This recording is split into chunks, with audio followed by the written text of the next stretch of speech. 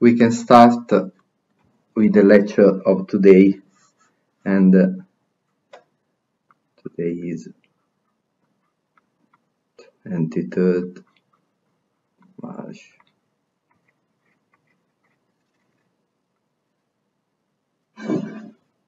So as usual we start with a reminder of the last lectures.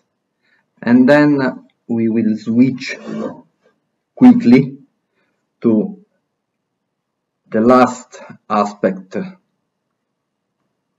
of uh, free surface flow and in particular to the so-called transient flow. Moto, moto vario a superficie libera. And in particular we will talk about as usual about the governing equations equations and then we talk about two particular aspects of the transient flows that we call as reservoir routing and river routing. Just in few words, routing is uh, a kind of propagation of flood and the reservoir and river uh, indicate uh, the water body in which the flood is, is propagating. In particular, in the first case, we are talking about uh, water basins. In the second uh, case, of course, we are talking about the propagation of flood waves within rivers. Quindi in particolare parleremo di motovario a superficie libera per quanto riguarda sia le equazioni che governano il fenomeno, come facciamo di solito, e poi parliamo di due aspetti particolari, che come vedete qui sono chiamati reservoir routing e river routing. Routing sta per, diciamo così, propagazione delle onde di piena, nella sostanza, e a seconda che queste onde si propaghino all'interno di un lago, sia esso artificiale o naturale, o all'interno di un fiume, river, parliamo di reservoir routing o river routing, quindi nella sostanza questo è un po' l'indice della lezione di oggi. So we can start as usual with a kind of reminder. So first of all we recall the equations and what we have done so far. So first of all we have the continuity equation that we can write in this way. Again, omega is uh, the wetted area, t is the time, q is the water discharge, and s, of course, is the space. And the continuity equation, as we have repeated a lot of time, uh, indicates that if the water discharge changes with space, then the wetted area must change with time. But on the other hand, if the wetted surface is changing with time, then for sure the water discharge must change with space. So omega, the wetted area, and the water discharge Q are uh, related by means of this uh, continuity equation.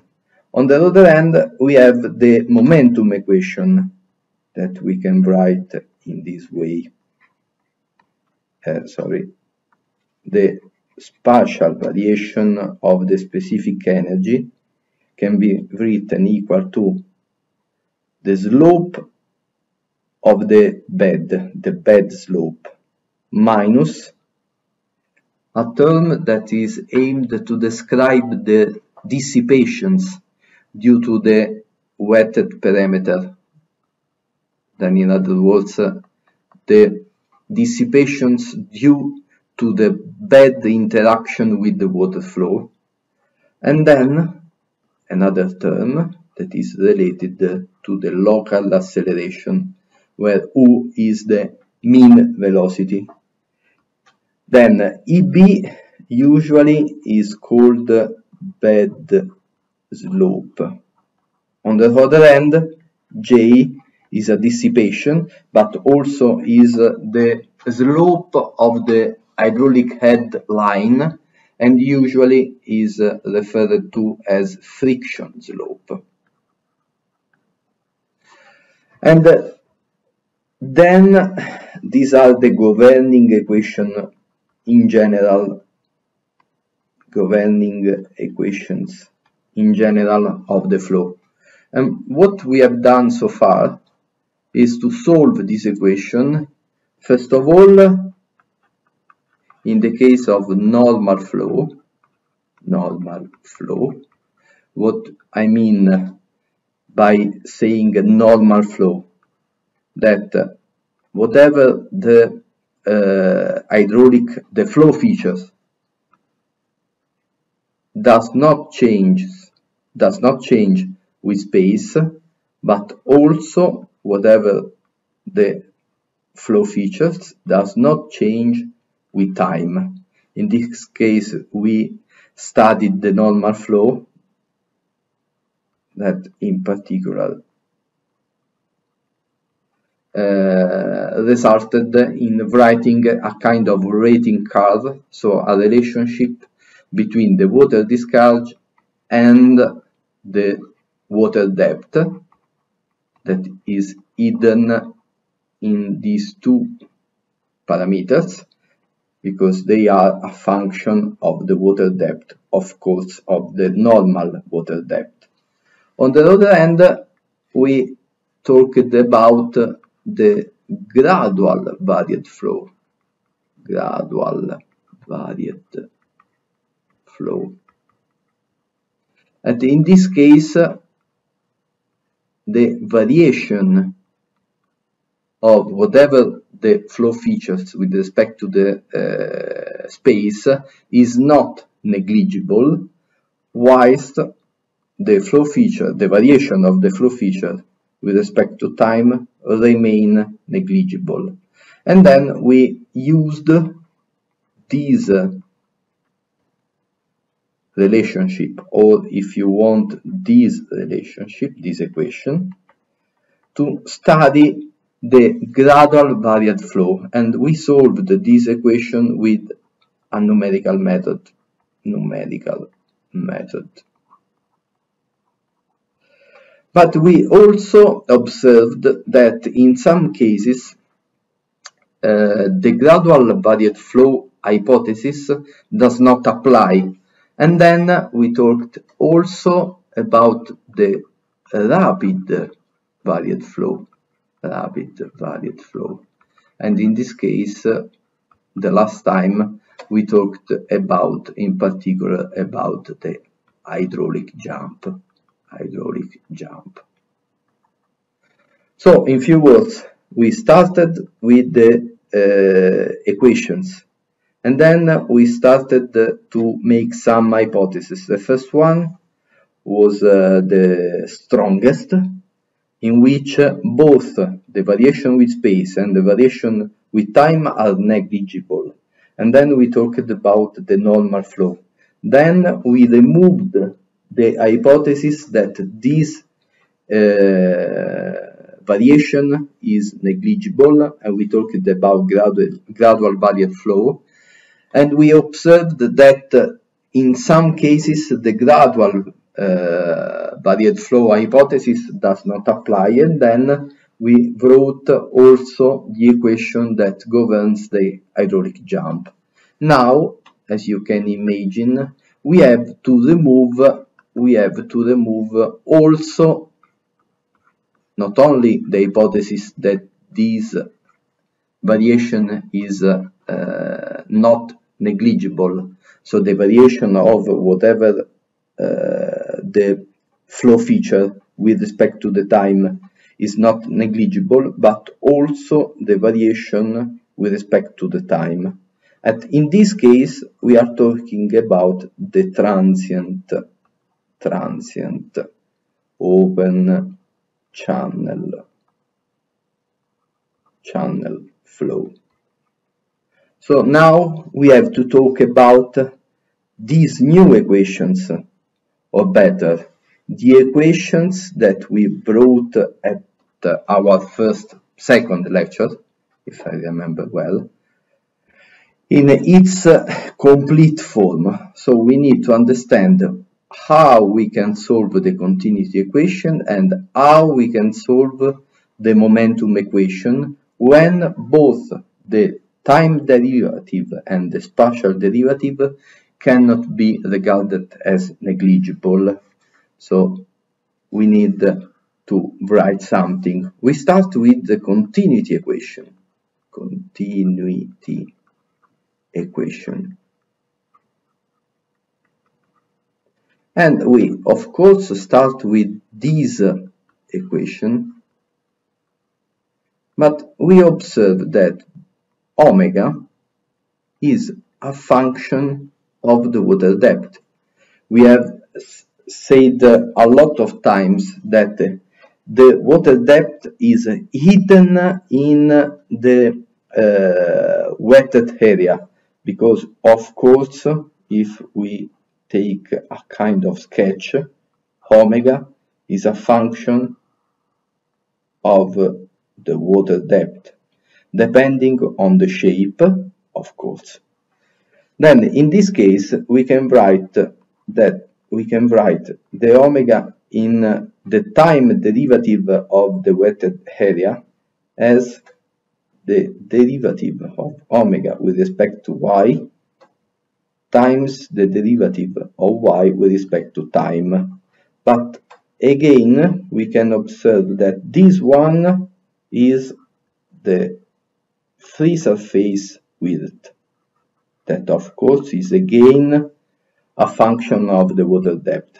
Then we can use this relationship that is equal to b time derivative of the water depth in this first term. But again, Q is equal to U omega. This is the definition of the water discharge. Then we can write this equation in a slight different form.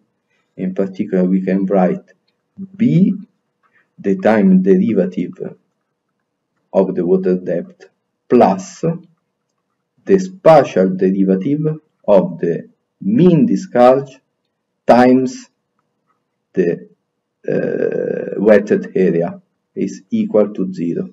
Then again we can write the y in the t plus u the omega with respect to the space plus omega the derivative of the mean velocity with respect to the space but again, this one can be written as the time as the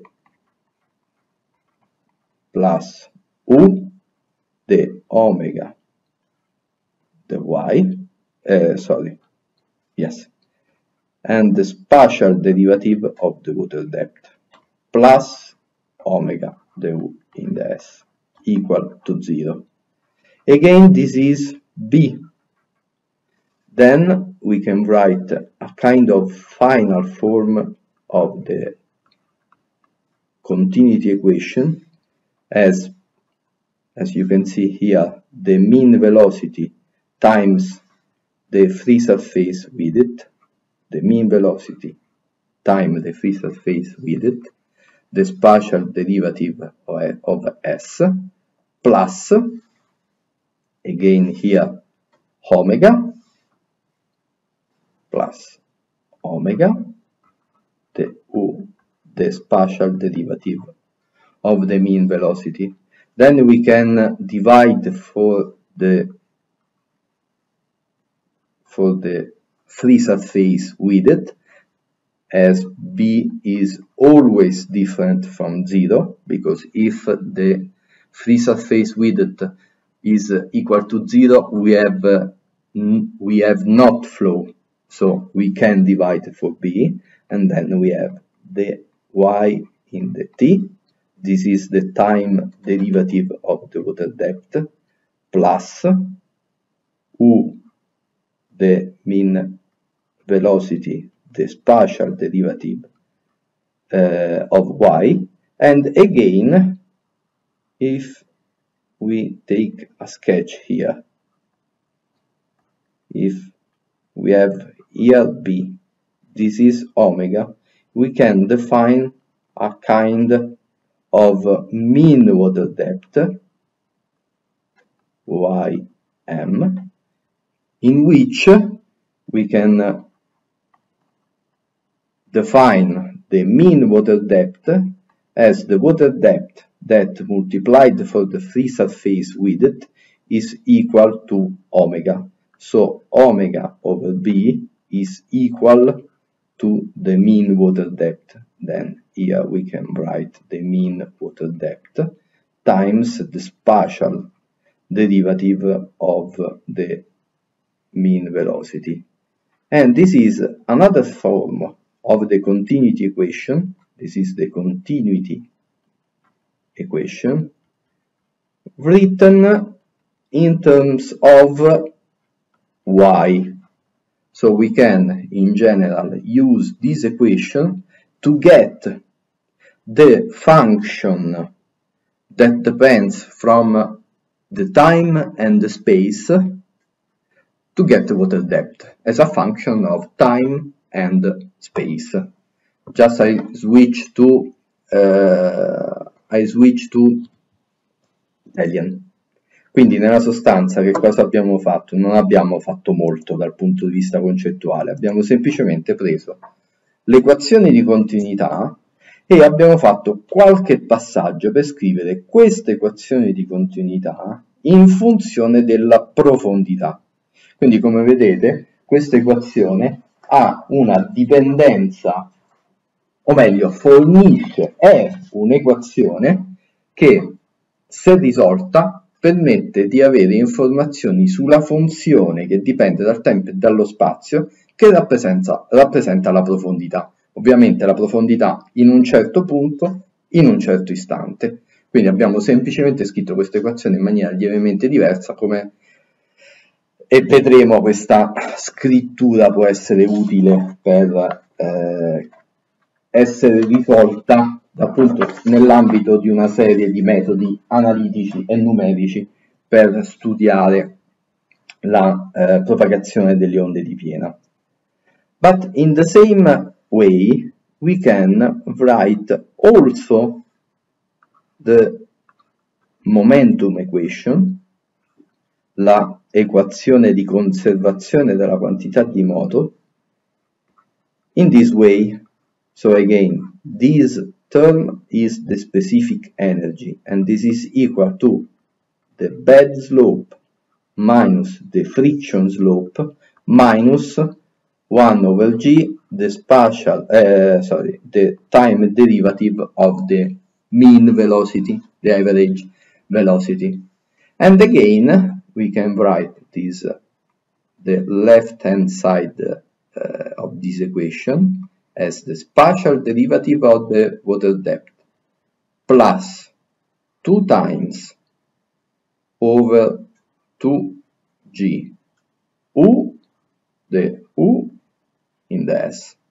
This is the spatial derivative of this uh, term. So we have 2 that is these two u the u in the s over 2g equal again to the bed slope minus the friction slope minus 1 over g the u in the t. But in this case we can write this one and we can use this equation to get the correct the correct relationship that provide us with the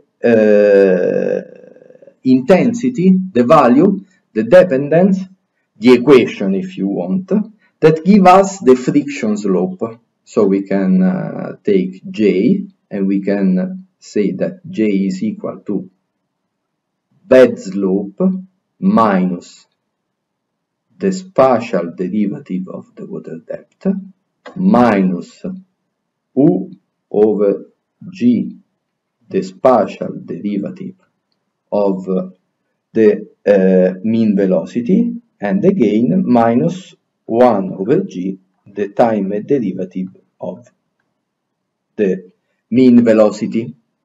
Now, we know that for normal flow, J is equal to the bed slope. So the friction slope equates the bed slope. These terms are related to the fact that the flow is not depends also from the space, so it's not normal, but also it is transient.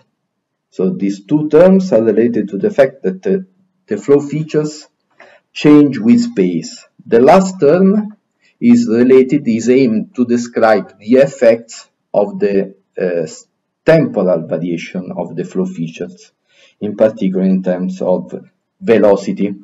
Now, try to resort to the Chezy formula. The Chezy formula say us, says us that the water discharge is equal to a kind of uh, coefficient, the Chezy coefficient, times the hydraulic radius and the friction slope square root. Now, this is uh, on one end true for the normal depth, but we have uh, said that this equation can be applied also for gradual varied flow. So in general, this equation can be used for whatever the type of flow. So on one end we have uh, Q that is equal to Chi over Lj. So this is for gradual or in general for transient flow. Transient flow.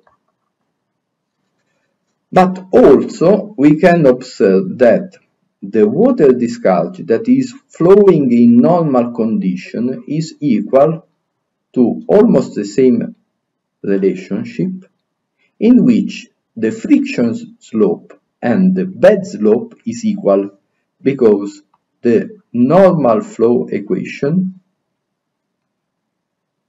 can be written in this simple form. So this is the normal flow equation. Now, if we compute the ratio between the water discharge in a very general form and in normal flow, we can write something like that. Q over Qn is equal to Chi L R friction slope over Chi R bed slope. And then we ask, what about the, this ratio if the water depth is equal to a kind, a given number? So for given water depth, Chi is equal to a coefficient, just for example Ks, that is uh, the Strickler coefficient, times the hydraulic radius power 1 over 6 and here we have the water depth. But for a given water depth, this coefficient, the Chezy coefficient, is the same because this one, this parameter depends on the bed material, on the bed hydraulic roughness. So it does not depend, it, it does not depend from the flow. On the other hand, the hydraulic radius is a function of the water depth, but if the water depth is given, the hydraulic radius is the same. So this ratio is simply equal to the friction slope over the bed slope. So we can in general compute, estimate the relationship between the water discharge in a generic condition and the normal flow discharge in normal flow condition as the square root of the ratio between the friction slope and the uh, slope of the bed, the bed slope. And this depends on the configuration. So this is a kind of parameter of the problem. Parameter of the problem. So very simply, this is a number.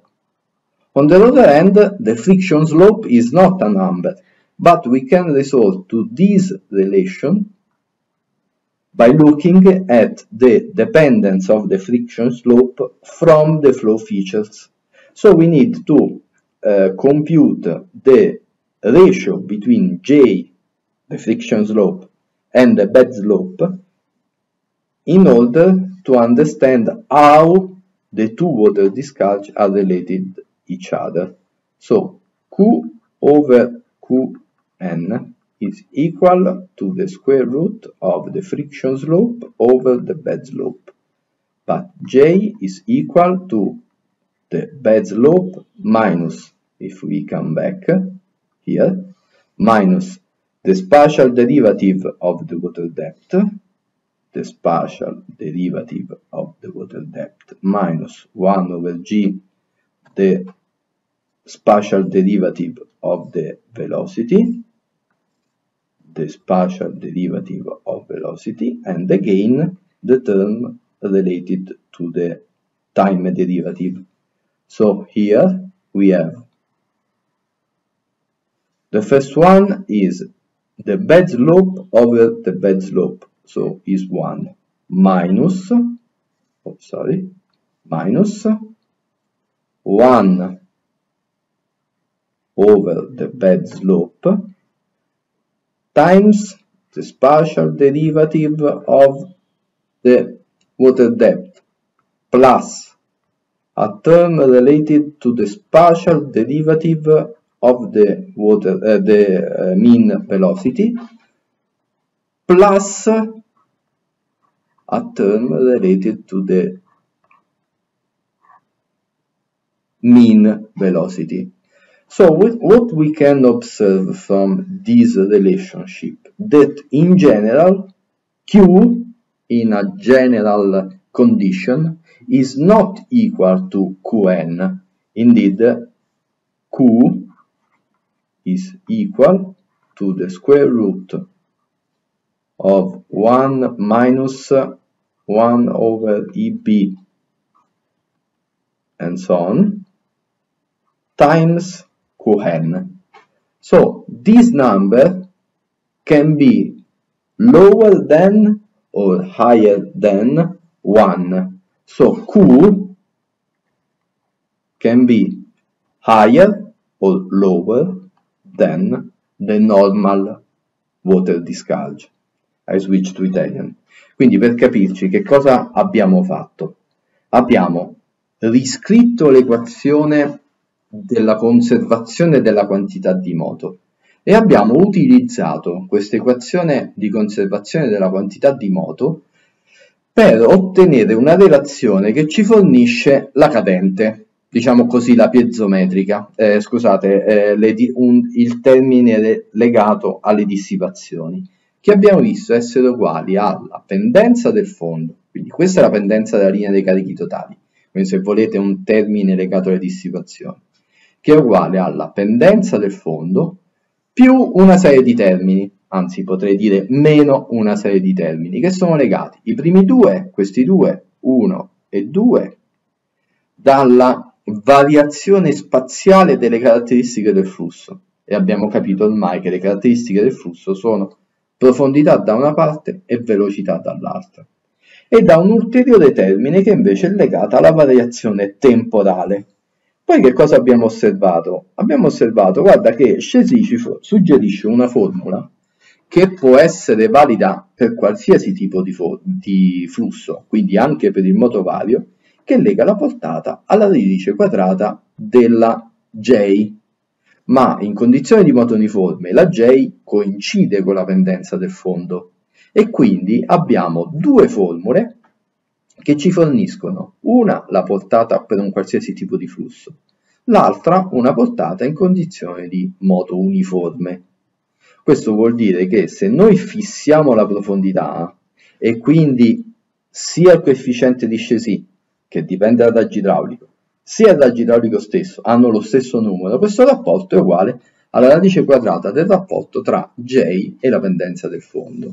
E facendo un po' di conti ci siamo accorti che questo rapporto non è uguale a 1. Questo cosa vuol dire? Che questo termine sotto la radice quadrata può essere maggiore di 1, minore di 1 o uguale a 1. È ovvio che è uguale a 1 soltanto in condizioni di moto uniforme, perché questi termini che stanno eh, dopo il meno, quindi termini, questo termine che c'è tra parentesi tonda, in realtà eh, è diverso da 0 quando il moto non è uniforme. Al contrario, quando il moto è uniforme questo numero è uguale a 0 e quindi la portata in generale è uguale alla portata di moto uniforme soltanto quando questi termini sono uguali a 0, cioè quando il flusso è effettivamente uniforme. Ma in generale questi termini possono essere diversi da 0 e quindi questo numero può essere più grande o più piccolo di 1 e se questo numero è più grande o più piccolo di 1 vuol dire che la portata in condizioni qualsiasi, quindi in condizioni di moto varia superficie libera, può essere più grande o più piccola dalla portata che fruisce in condizioni di moto uniforme. Then we need to understand the sign of this, uh, this summation. Then we can have that the spatial derivative plus u over g spatial derivative of the mean velocity plus 1 over g the time derivative of the uh, of the mean velocity if this one uh, is higher than 0 then this number is lower than 1 then in this case q is lower than the normal depth. And in the same way and in the other hand on the other hand we can have in this case then when this summation is lower than 0 then this one is lower uh, than 0 then this summation is higher than 1 then the water discharge for transient flow is higher than the normal flow water discharge. Then now we need to switch to the reality and uh, for the first time we have to take a look to the, so-called hydrograph. Hydrograph. Because up to now we have uh, hypothesized that the water discharge is uh, constant because for both normal flow and gradual varied flow, the continuity equation, we have to switch here, or better, here, uh, this equation, if uh, the time derivative is uh, equal to zero, or better, is negligible, the water discharge is uh, constant this is the first time in which water discharge is not constant, but changes with time. So we can write something like that. We can we can think to something like this. The water discharge is uh, constant. Just for example, for instance, uh, the water discharge that is flowing in a river. Then it starts to rain and the water discharge starts to increase to increase then reach its maximum and when it stops to rain the water discharge tends to come again to a, a given number say it q star then here we have a time and we have another time. This is a kind of a t start a t start so this is the time in which it starts to rain and the water discharge starts to increase. Then there is a time in which the water discharge reaches its maximum. And then we have also a kind of the end in which the flow returns to be a constant water flow then more or less we can imagine that here for t higher than t end we have normal flow normal flow here. And also here we have normal flow.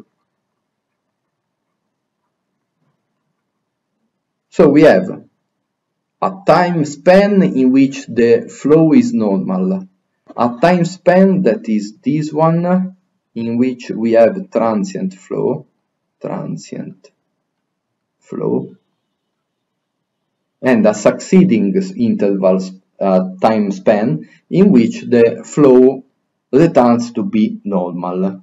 So we are uh, asking, but what happens to the water discharge with respect to the normal flow equation? Indeed, we have uh, seen that with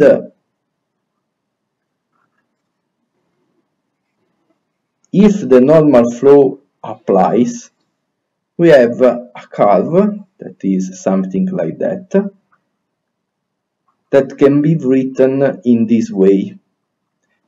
If you remember we named this relationship as rating curve and the rating curve, pay attention to, is a relationship that relate the water depth to the water discharge if normal flow hypothesis apply, applies. So this is not a general relationship, is a relationship that is valid only if the flow is normal.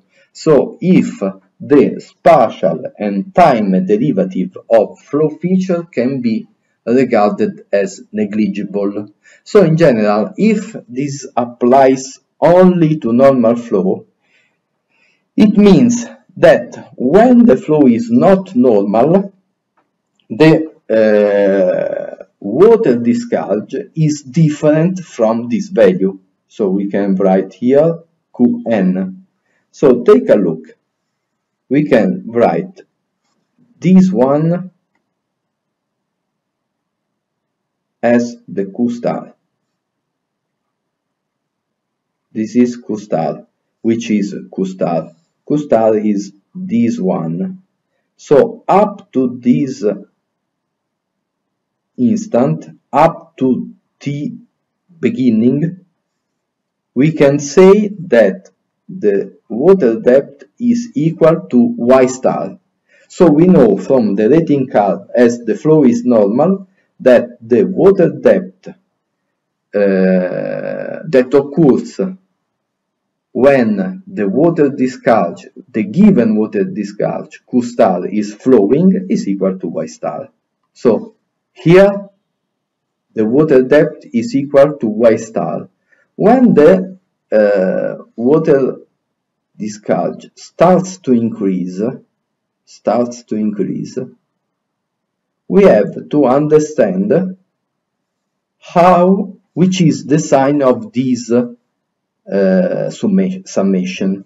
So we need to understand what is, is happening because this water discharge is written for a given, uh, sorry, for a given section. So this is true in x um, for s is equal s is equal to s star. So we need to resort to the general uh, situation. So just for example, we have a river, we have a river a straight line river. This is a plan view. Plan view. And here we have S star and the water discharge is flowing in this direction. Now, if we stay in this section, say it S is equal to S uh, tilde. Then, and we look upstream, what we see?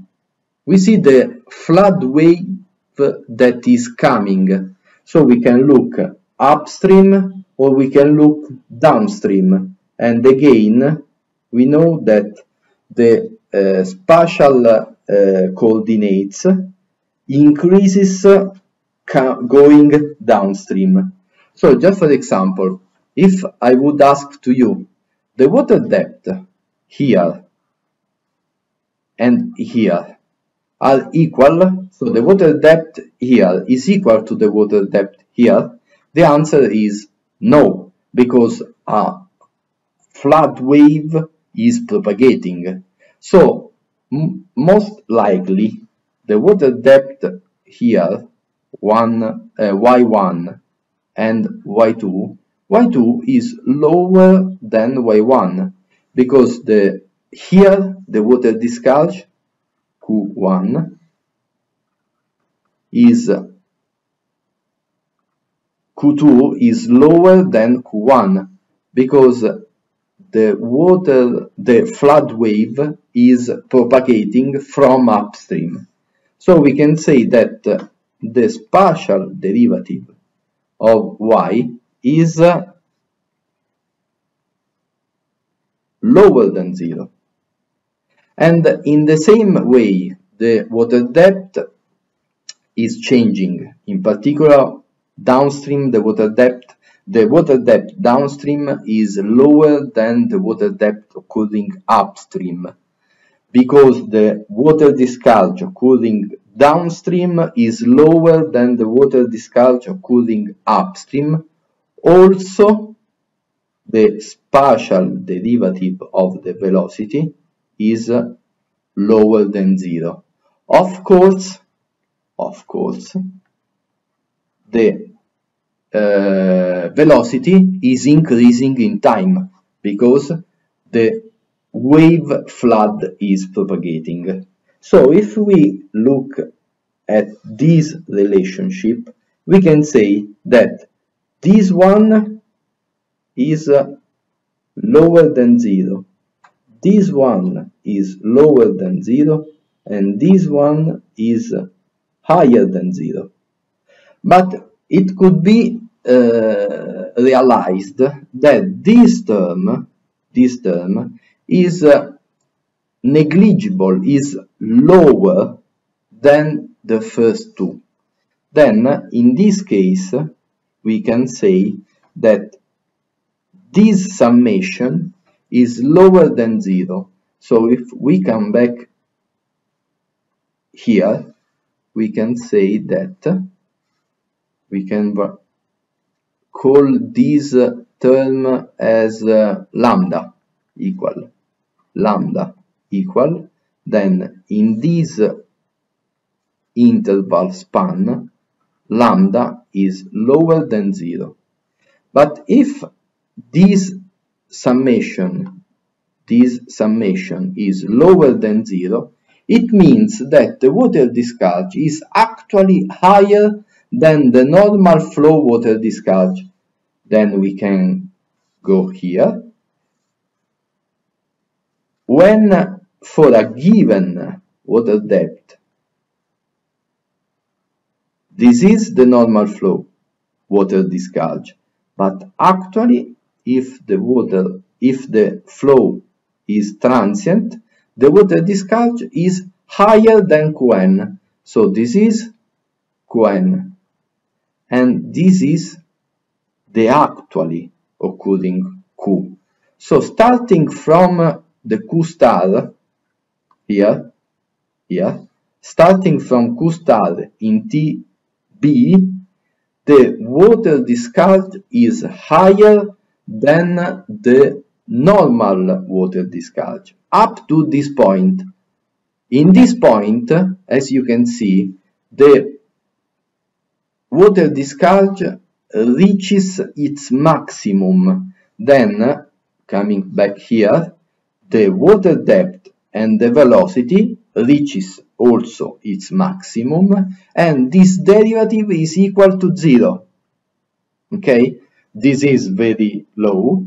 Then in this uh, case, when the water discharge reaches its maximum, the water discharge is equal to the normal water depth. So more or less, we can write a kind of this one, a kind of uh, curve that deviates from the normal flow rating curve and in the time in which the water discharge increases then the water discharge is higher than the normal flow discharge. On the other hand, if we switch to the green color, in this we can write this one. In this time interval, in this time interval, we can write more or less the same thing, and we can look at this. We have that y2 is higher than y1, because now the flood wave is uh, uh, leaving our section. So the water depth downstream is higher than the water depth upstream. And of course, also Q2 is higher than Q1 because the flood waves are uh, traveling downstream. Then in this case, we can write that the y in the s is higher than 0, the u in the s is higher than 0, but water discharge is decreasing, so this one is lower than 0, but this is lower than the two terms, then lambda is higher than 0. We can up here, and we can write that lambda is higher than 0. But if we come back here, if uh, lambda is uh, higher than 0, then the water depth, the water discharge is lower than the normal flow discharge. Then again we can we have to come back here, starting from this point, the water discharge is lower up to this point. Then when a when a hydrograph propagates in a river, actually the water discharge make a kind of loop of loop around the rating curve that is valid only for uh, normal flow. Then something strange is occurring. Then we need to solve the governing equation because in general, Q is different from the normal flow uh, from from the normal flow water discharge. So we need to understand what is happening. So we need to solve the uh, to solve the equation. Just I switch to Italian a little bit. Quindi per capirci che cosa vi sto dicendo? Vi sto dicendo, guardate che anche con queste semplici argomentazioni, perché non è che abbiamo fatto molti conti, non è che abbiamo risolto delle equazioni in maniera dettagliata, però ci siamo chiesti, ma la portata in generale è uguale oppure non è uguale alla portata che fluisce in condizioni di modo uniforme? Analizzando questi segni ci siamo oh, accorti che in generale la portata compie una sorta di eh, percorso di steresi, chiamiamolo così, attorno alla curva, alla scala di deflusso che valida soltanto per moto uniforme. In italiano questa qui si chiama cappio di piena.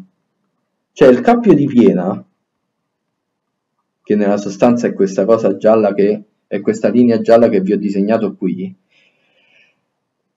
eh, testimonia il fatto che quando il moto è vario, quindi quando non possiamo accettare che il moto sia uniforme, in realtà la portata non è uguale a quella, delle, eh, a quella del moto uniforme. Quindi abbiamo bisogno di risolvere le equazioni del moto vario a superficie libera, perché altrimenti potremmo in linea di principio sbagliare.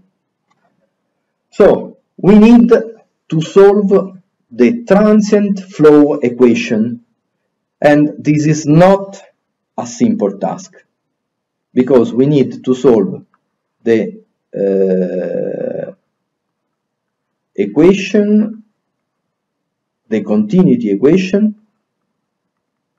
that we can write also in this uh, in this uh, sorry in this form but it's more or less from a conceptual point of view the same thing.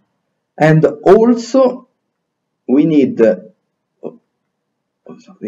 also we need to uh, solve the momentum equation S is equal minus the friction slope minus 1 over g the u in the t. Now, the resolution of these two equations, and here we have seen that this equation can be written as u over b, the u in plus ym, the u in the t. So here we have the water depth but also here we have the, water depth because the specific energy is equal to this one and here we have the velocity but we have also here the velocity so this is a kind of coupled equations coupled equations so we cannot solve the first one and then solve the second one. We need to solve them simultaneously. So we have to solve them uh, together. So we need of a kind of uh, uh, detailed and if you want complex numerical methods that is able method that is able to solve this system of partial differential equation, the so-called PDE. Before to do to uh, make this, we can try to uh, simplify these equations. And first of all, we have to resort to a practical Uh, case. So we have in general two cases. The first one is the case in which the water discharge is flowing in a river. So we can write S1 here, S2 here. And the question is, if we know the water discharge as a function of the time in S equal to S1, just for example this one. So this is the water discharge here. Actually the hydrograph here. The question is which is the hydrograph in S equal to S2 and here we put a question mark. And this is the water the hydrograph in this section.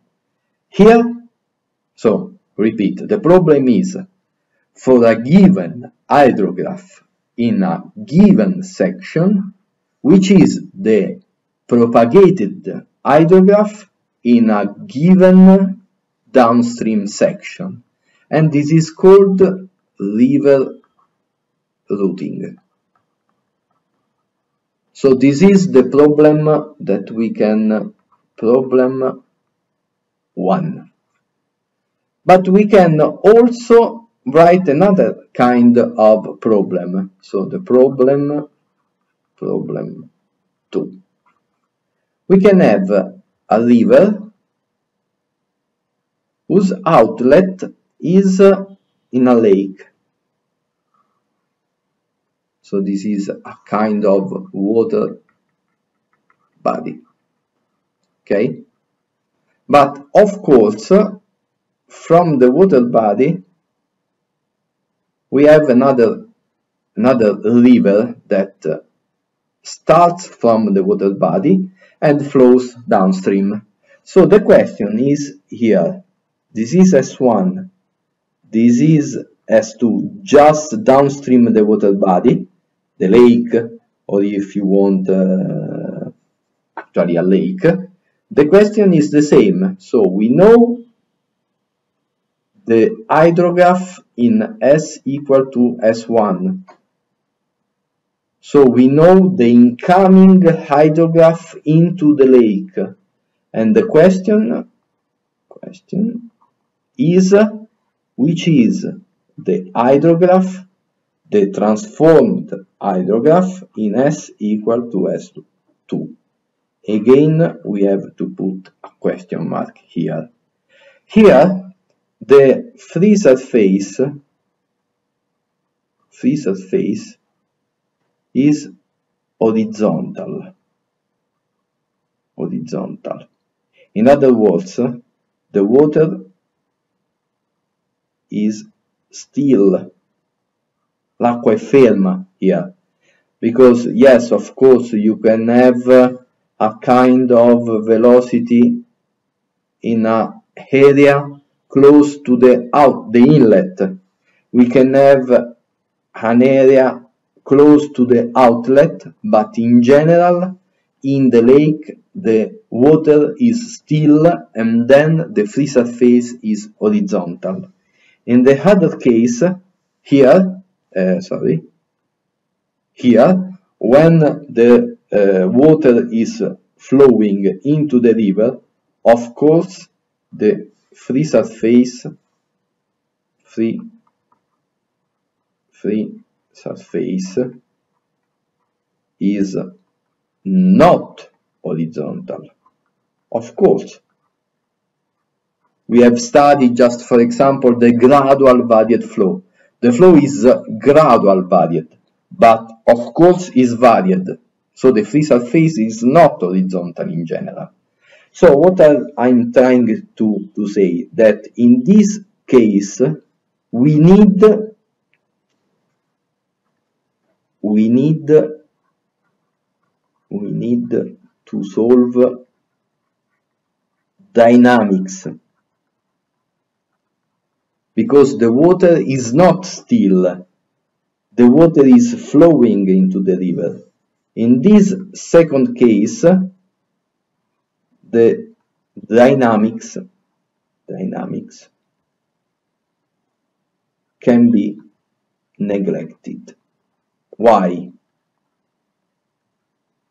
Because the water is still, then we can neglect the dynamics. So, in this case, in general, we can solve only the continuity equation. Continuity equation. In this case, uh, sorry, in this case, we need to solve both the continuity continuity equation but also the momentum equation so if you want this problem is more complex than this one. Then we will start from the problem 2 so a water an hydrograph that is flowing into a water body in which the water is still and then the water flows downstream uh, in the river we need to understand which is the time behavior of the outlet water discharge just to let you uh, show of what we are talking about this is a kind of example of what we are saying. So here we have the lake. I don't know if you can uh, see it. So here we have the lake. The lake, it means it means that here the water the water is still still. Whilst here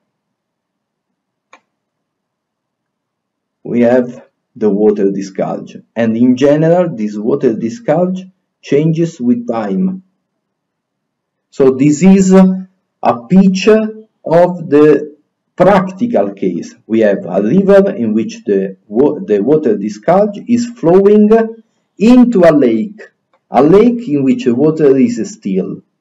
But if we look downstream, this is the lake, this is the lake, this is just an example, and uh, as you can see the water is still.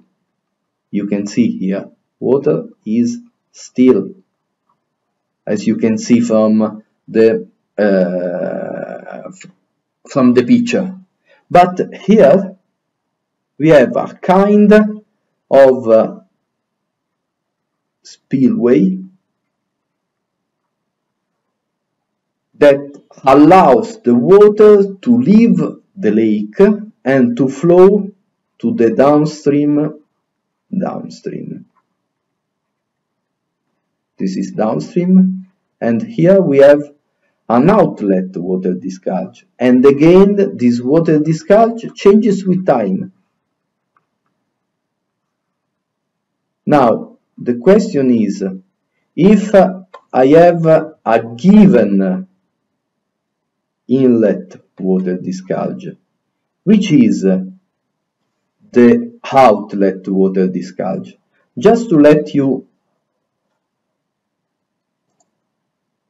to understand what we are talking about, I show you a, a video, a video, and uh, this is how the flow, in a particular case of course, uh, leaves the, uh, the lake. And if you look at these, uh, just for example, first of all, here we can see a kind of hydraulic jump. So this is the way in which the energy of outlet water discharge is dissipated. Then, if we go a little bit upstream, we can see here that in this part the flow is very fast then the water here is white because air entrainment is occurring and then downstream uh, an hydraulic jump occurs in order to dissipate energy. Quindi per capirci, questa qui è, questo qui è un flusso veloce, quindi come vedete qui l'acqua è bianca, quindi vuol dire che l'aria sta si sta intrappolando nell'acqua, quindi abbiamo delle dissipazioni. E come avete visto prima, a valle abbiamo anche un risalto che serve per dissipare energia. And if we look upstream, we can say the quite differences between this part and this part. As you can see, here the water is uh, mostly still. Here the flow is very fast. As you can see here, the water is flowing from this gate, this gate, and this gate. As you can see, the water here is still. This is another view. Here the water is still, here the water is of course not still, but is flowing. So we need to understand which is the water discharge that is flowing downstream given for a given water discharge that is entering into the lake. So this is uh, the, the big deal that we have to solve. This is just, uh, here you can see the water discharge that is flowing downstream. Here you can see the river that convey the water downstream.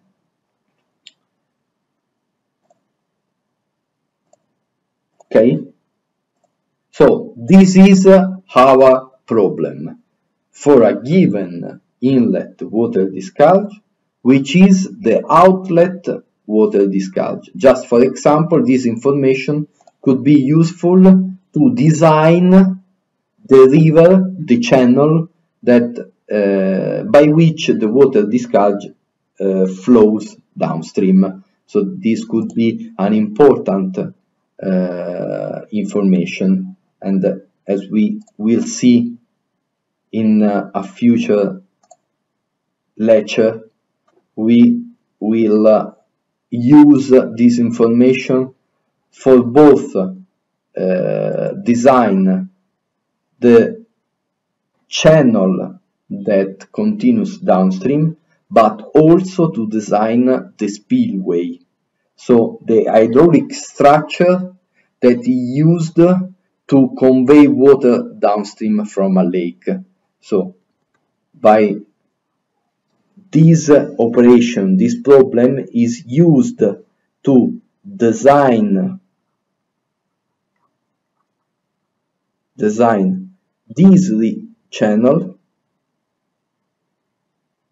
channel down downstream channel so to design the downstream channel but also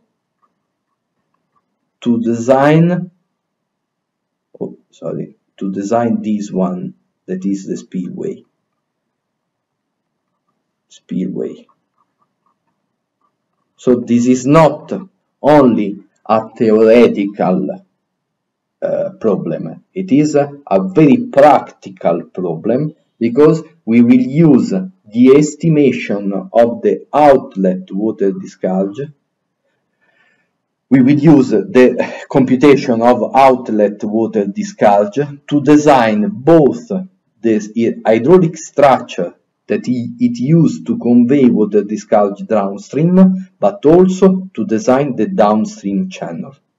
So I switch to Italian.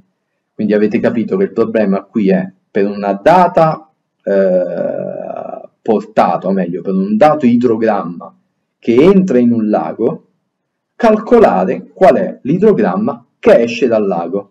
Sembrerebbe un caso, come dire, teorico, ma in realtà ha un risvolto pratico molto, molto importante, perché da una parte possiamo eh, progettare il canale che deve far che deve far defluire la portata a valle, ma dall'altra lo utilizziamo anche per dimensionare lo sfioratore, dimensionare l'opera idraulica che permette eh, il defluimento della portata verso valle. Poi vedremo che in realtà noi usiamo questo tipo di problema anche per progettare direttamente il lago. Furthermore, we have to say that this problem can be used also to design the water body.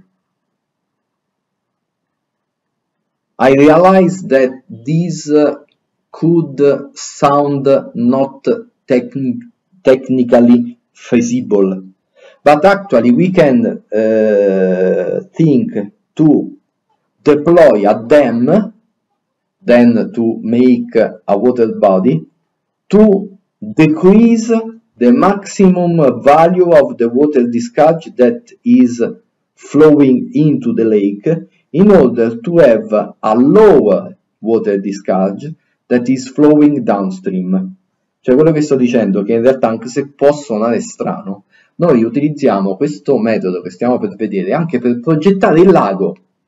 So che sembra strano progettare un lago, ovviamente stiamo parlando di un lago artificiale, però questi laghi possono essere progettati, in realtà si chiamano invasi artificiali, possono essere progettati per di far diminuire una portata a valle. Immaginate di avere una città eh, all'interno della quale fluisce questo fiume e la città, o meglio il fiume, non è compatibile, non riesce a contenere la portata massima che arriva da monte e quindi si possono avere delle alluvioni urbane, pensate a Roma, pensate al Tevere che passa a Roma, beh, un lago riesce a far diminuire la portata che fluisce a valle semplicemente per la sua forma, perché contiene dell'acqua.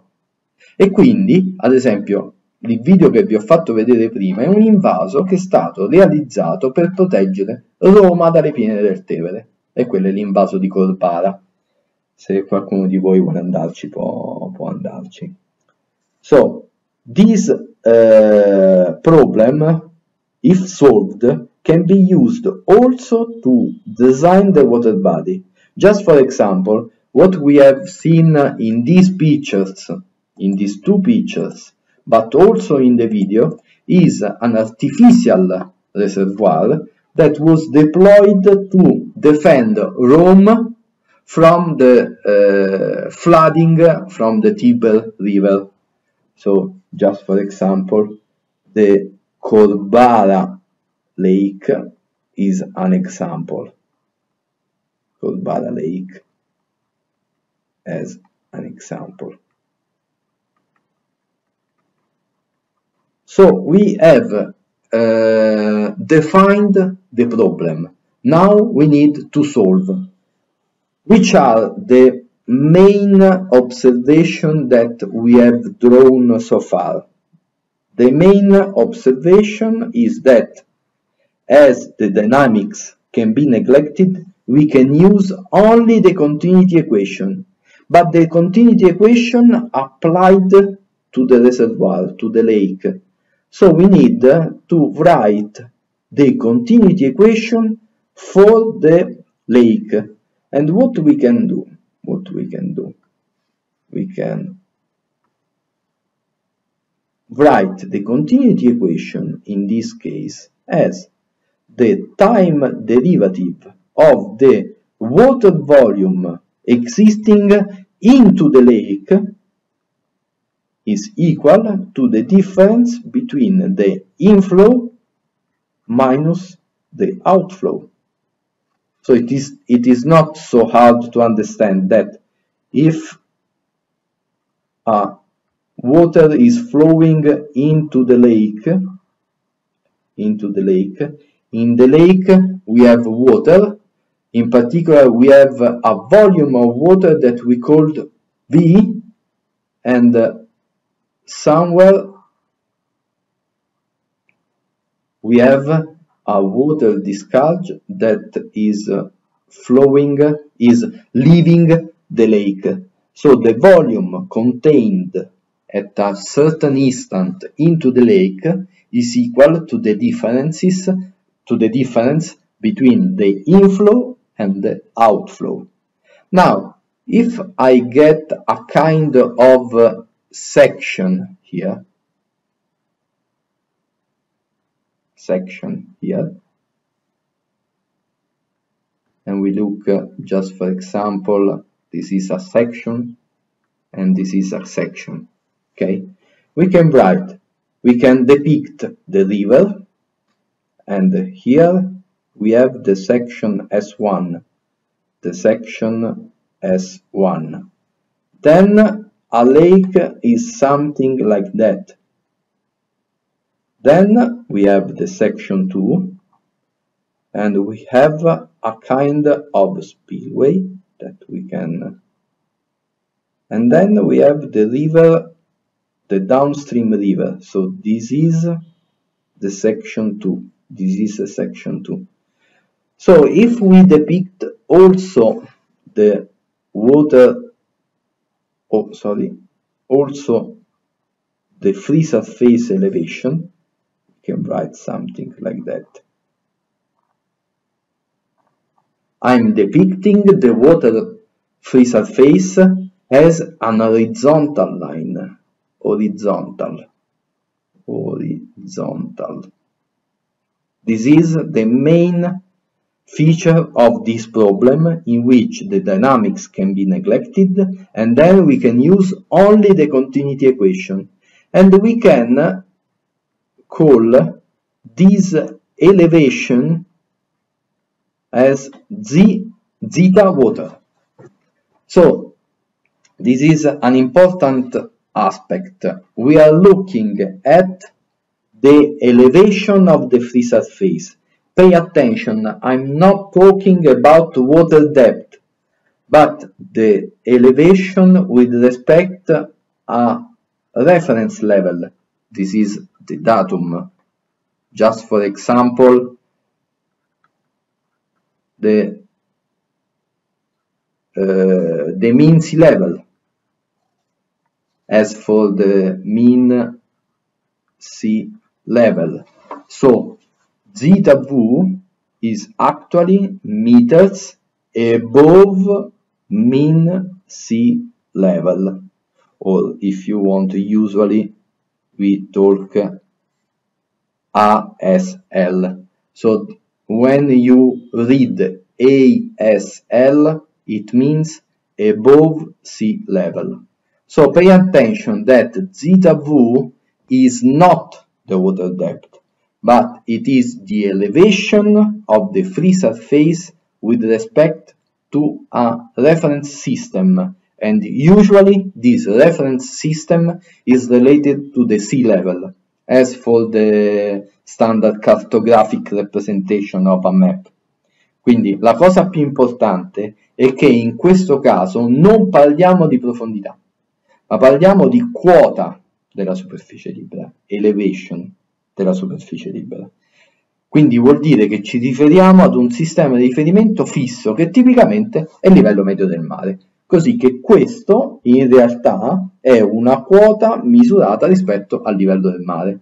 Quindi quando vedete ASL in, in italiano è rispetto al livello medio mare, in inglese si dice ASL, above, sopra, sea, mare, L, level. Quindi la cosa importante è che questa è la quota della superficie libera. But why we are talking about zeta W? Because the, we can realize that the volume of water that is contained into the lake is a function of the free surface elevation. Of course, if the free surface changes its elevation, then the volume contained in the lake changes too. It is rather intuitive. Then the volume is a function of the elevation of the water depth. On the other hand, QE, the inlet water discharge, is given in a second part of these course, we will learn how to compute the incoming hydrograph. For now it is given, so if we make a plot of QE, we know we know the water discharge for whatever the time, so we can have a generic a given time and we can get the value of the incoming uh, water discharge. But what about the uh, water discharge that leaves the lake? But as you can see here, what you can, here we can have uh, the an jump, but the water leave the lake by means of this hydraulic structure that is a spillway spillway and usually but it is uh, always true usually the water discharge that flows over a spillway or whatever hydraulic structure you want depends again from this this water depth over the spillway, but this water depth is a function of the water surface elevation. So also the outlet water discharge is a function, of course, different of the free surface elevation. Okay, so we are we are saying that we have a function that provide with the volume of water contained in the lake as a function of the free surface elevation. Usually this function is referred to as stage storage curve. So this is a kind of function that is that relates the stage, so the uh, free surface elevation, that uh, give us the storage, so the volume of water into the lake, as a function of the stage, so the free surface elevation. And more or less with the same rationale, we can define this one as stage outflow curve. Again, outflow is the water discharge that is flowing out from the lake and stage is again the elevation of the free surface. Of course, if we resort to the rating curve concept in which Q is equal to a function of the water depth, more or less the stage outflow curve has the same physical meaning of a rating curve. So what we are saying is that both the storage, the volume of water contained in the lake, and the outflow water discharge both depends on the free surface elevation. Then we need to use this observation to solve this equation. And we will uh, we will be successfully we we are able to solve this equation by using this observation. But now we stop some minutes. Allora quello che vi sto dicendo è che rispetto a questa equazione in cui c'è v qui. E c'è qo qui. E osservando che questa è nota a priori, perché questa è come dire un'informazione un del problema, quindi la portata in ingresso all'invaso è una funzione nota del tempo. Questa la conosciamo sempre e comunque, quindi per qualsiasi tempo noi possiamo calcolare la, eh, possiamo conoscere, non calcolare, conosciamo la portata in ingresso. E il vero problema sono il volume e la portata in uscita. E Guardando a quest'altra lavagna, quello che vi sto dicendo è che entrambi dipendono dalla quota della superficie libera all'interno dell'invaso. La prima è facile da intuire perché se cambia la posizione della superficie libera dentro l'invaso è ovvio che il volume cambia. Se la quota all'interno dell'invaso è 100 metri sul livello del mare e il volume è uguale a un certo V0, se la quota cambia a 101 il volume cambierà, probabilmente sarà più grande. Dall'altra parte però anche la portata in uscita dipende dalla quota della superficie libera. E per convincervi di questo vi ho fatto vedere qual è eh, questo discorso, cioè l'opera idraulica che permette l'uscita di una certa portata più o meno è fatta in questa maniera. Immaginatevi o come una struttura di calcestruzzo al di sopra della quale passa l'acqua e vi potrei far vedere questo eh, questo, questa figura in cui vedete c'è una struttura, che in realtà qui è anche l'opera di ritenuta, rispetto al quale la portata che esce dipende, mi verrebbe da dire, ovviamente dalla quota della superficie libera all'interno del lago. Più è alta la quota, più è alta la portata. Quindi, così come il volume dipende dalla quota della superficie libera, così anche la portata in uscita dipende dalla quota della superficie libera. Ok? Quindi questo è un po', un po quello che ho detto nell'ultima nell'ultima diapositiva. Now, we have, before to uh, solve this equation, actually, before to write this equation in a finite, finite difference form, we have to understand something else about the phenomenon. In particular, we can uh, rewrite that the outlet uh, water discharge is a function actually uh, an F2 of the free surface uh, elevation. So, if we want to know when the maximum value of the outlet water discharge, the outflow, the outflow reaches its maximum, we need to compute the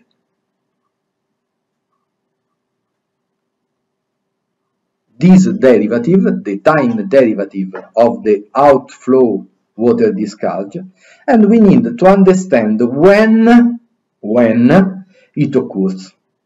But as Q0 does not de depend directly from the time, but by means of the free surface elevation that changes with time, we can write this uh, derivative as the derivative of Q0 with respect to the free surface elevation times the variation, the time derivative of zeta v. And then we need to, uh, to equate to zero. Now, what about this first term? This is the variation of the outflow as a function of the free surface uh, elevation. Just to understand, if I make a zoom on the spillway, here we have zeta v, this is zeta V. As the water approach here, we have a kind of flow. So here we have the outflow. And actually, if I write this zeta v and I write this one as zeta s, so the elevation of the spillway, then the outflow is equal to 0 up to zeta, zeta s. And up to when zeta, the free surface elevation, is higher than zeta s, then the water discharge, more or less, will be something like that.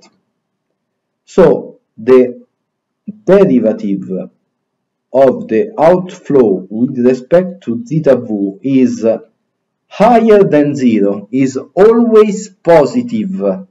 So this derivative cannot be equal to zero. So this is higher than zero. Then the only motivation for which this product can be zero is that this one is equal to zero. So we can reach, we can have the maximum value of the outflow only, oh sorry, only, so Q outflow is maximum, maximum, if and only if the derivative of zeta v the time derivative of the free surface elevation is equal to zero. And this is a first result. But we can observe that also v is a function of zeta v. Then, in the same way that we have done before, the time, the time derivative, the time derivative is equal to the variation of the volume as a function of zeta v times the time derivative of zeta uh, of the time derivative of the free surface elevation. Then when Q0 is maximum, also the time derivative of the volume is equal to 0 but coming back to the equation, this derivative is equal to 0 if and only if these two water discharge are equal.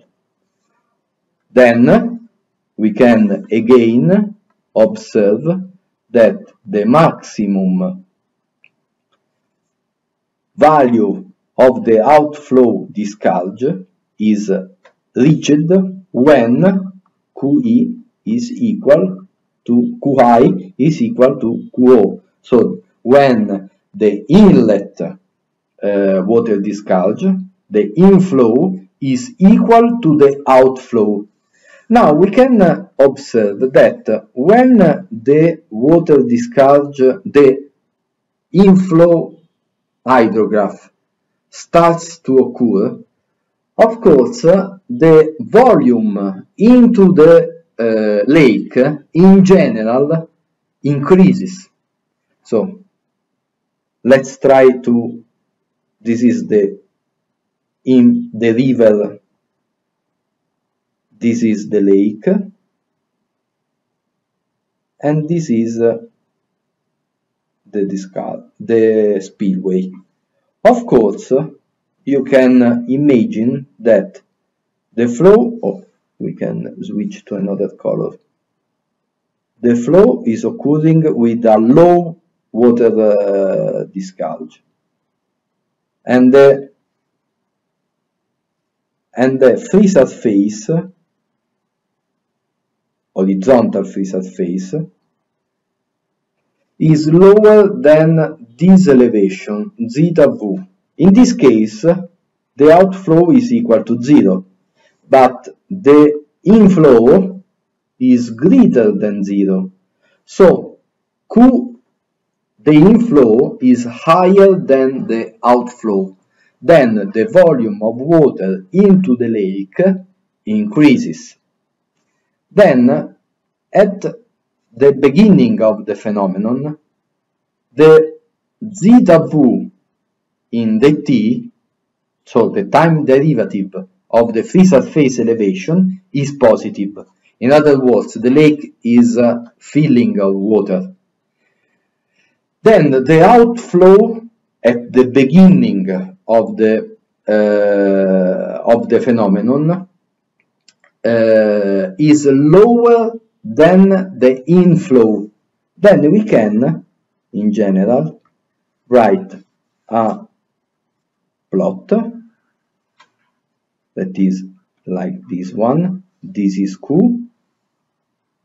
This is the time. With red, we write the incoming water discharge and if we switch the color we can say that at the beginning the outflow is uh,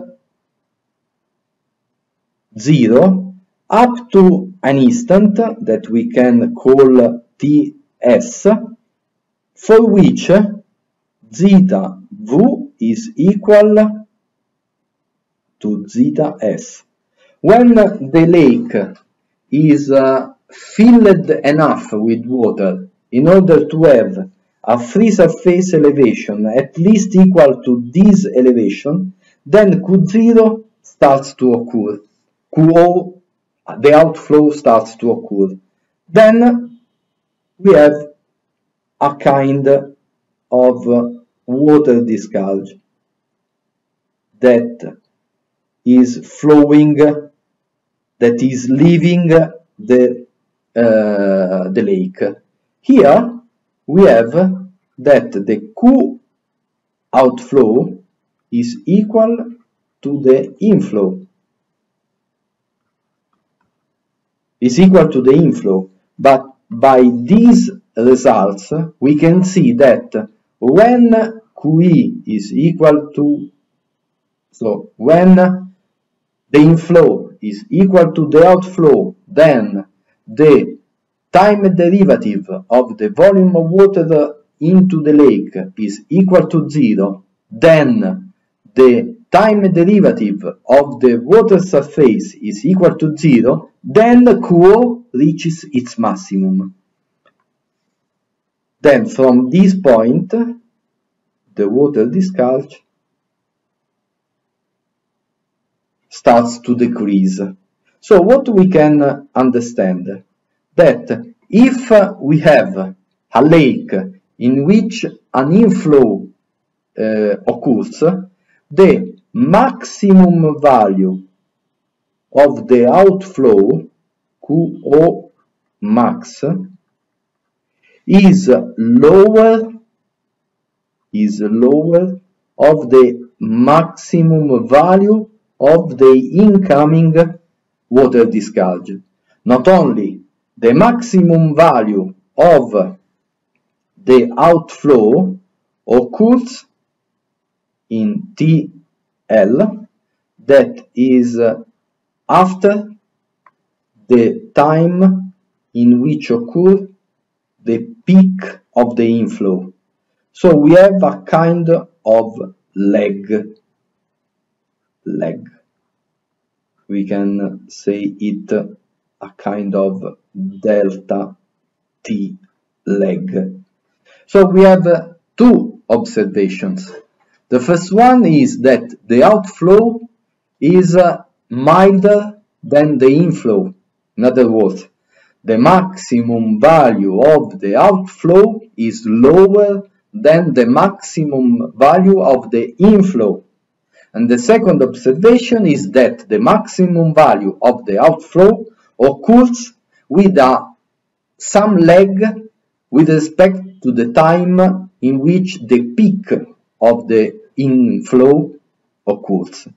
Quindi vi sto dicendo due cose. Sulla base dei conti che eh, abbiamo fatto, ci siamo accorti che il massimo valore della portata in uscita accade quando le due portate sono uguali, quando la portata in ingresso e la portata in uscita sono uguali.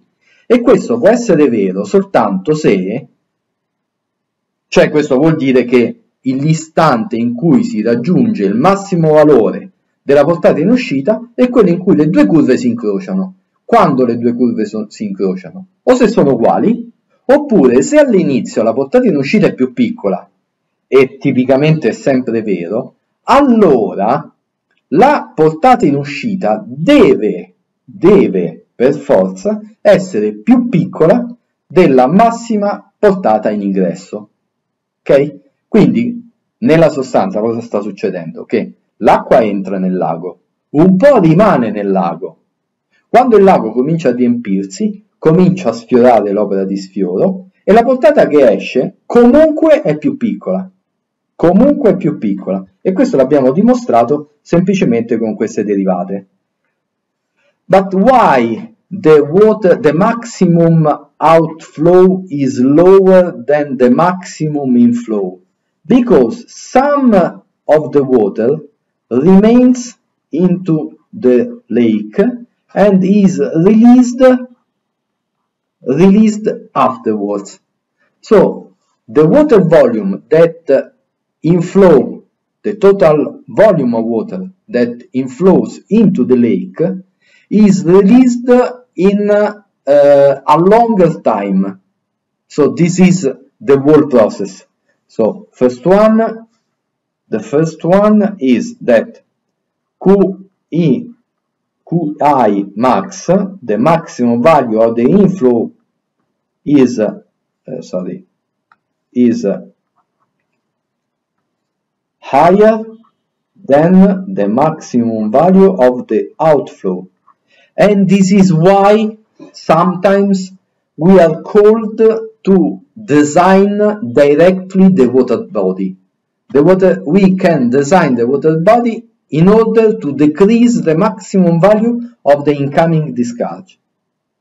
The second aspect is the T, the time in which the maximum value of the outflow occurs is higher with respect to the time in which occur the peak of the inflow. 3.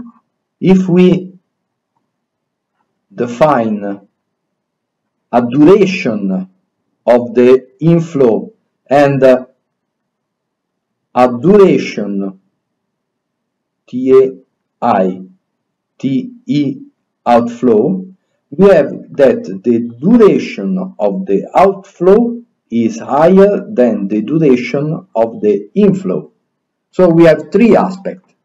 Now we need to solve the equation that governs this phenomenon in order to compute, we have to compute this one. As I said a lot of times, first we have to understand then we need to compute. We must compute something because we need numbers. We need to understand the phenomenon and then we need we must solve the equation in order to have numbers that we can use to design hydraulic structures. So this is the time to solve the equation. And as we see, the equation that we have to solve is this one minus Q flow. So the time derivative of the volume is equal to the difference between the inflow and the outflow.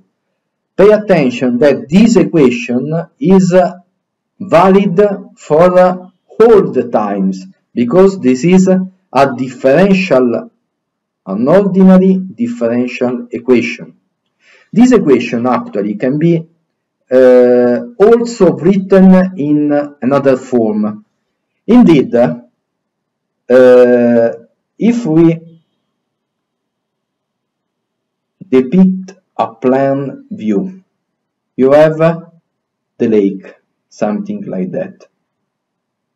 You can imagine that this is, this is a valley filled with water. If we increase the water depth, of course, of course,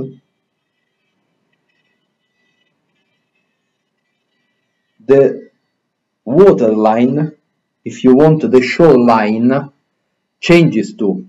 So, if we change the water depth, or better, if we change the free surface elevation, the variation of the volume is equal to the area of the free surface. Pay attention, when we talked about the one-dimensional flow, we talked about the free surface width, here the water is still, and we talk about the free surface we can talk about fingerprint, impronta. So we talk about the area. So actually, we can write here that the, the time derivative of the water of volume contained into the uh, into the uh, lake can be written as a d zeta Q, the time is equal to Qi minus Q outflow of, uh, sorry, without over. Then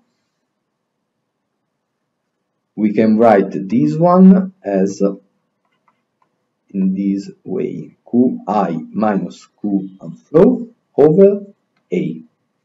So we need to select which equation to solve? This one or this one?